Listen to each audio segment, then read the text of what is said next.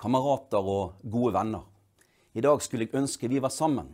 Vi skulle så gjerne heller møttes på torget, sunget kampsangene, klappet for appellen, ropt slagord. Denne dagen er viktig, og det, at vi møtes digitalt, understreker hvorfor 1. mai er ekstra viktig i år. For andre gang så løfter vi fanene mens pandemien fortsatt påvirker livene til så mange.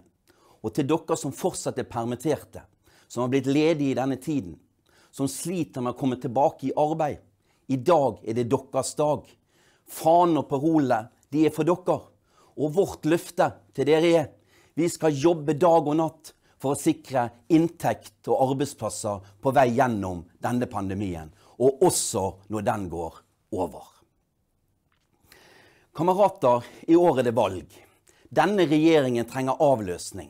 Vi trenger en rød-grønn regjering med Jonas som statsminister. Forskjellene er økt hjemme og på jobb. Og det handler ikke bare om korona. For det er en villet politikk fra denne regjeringen. De rikeste får kuttet skattene. Vanlige folk får regningen. Med den ene hånden kuttet regjeringen formuesskatten. Med den andre kuttet de feriepenger for de arbeidsledige. Og det gjør de uten skam.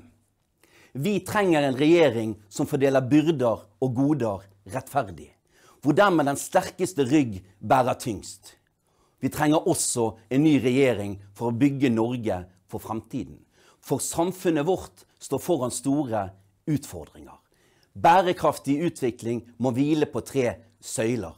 Økonomisk utvikling, sosial utvikling og miljø. Og skal vi løse klimautfordringene, trenger vi en aktiv stat. Omstillingen må sikre verdiskaping og bygge nye arbeidsplasser. Alle må oppleve at vi drar lasset i fellesskap. For å få dette til er partnerskap mellom industri og stat viktig. Industrien er viktig for at vi skal kunne være et moderne samfunn i utvikling.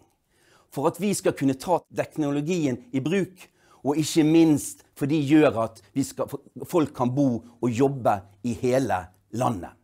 God industripolitikk det er god næringspolitikk, men det er også god distriktspolitikk. Derfor må valget til høsten bli startskudd for felles innsats, både for industrien, men også for en ny regjering. For nå er det arbeidsfolks tur. Kamerater, vi kan ikke være oss sjøl nok på en dag som denne. I Myanmar slår kuppgeneralen i dag ned fredelige demonstrasjoner og streiker. Med stor brutalitet. Militærjuntaen gjennomfører regelrette henrettelser av fagforeningsaktivister. Internasjonal fagbevegelse har nå gått sammen om et fond til støtte for demokratiforkjempere og støtte til arbeidere som har måttet flykte. Og Jeg oppfordrer alle til å støtte Myanmar gjennom sine fagforeninger. Og i år som alltid så håper jeg alle støtter Norsk Folkehjelps 1. mai-aksjon Stopp ulikheten rettferdig fordeling av vaksiner. Gode kamerater, gratulerer med dagen.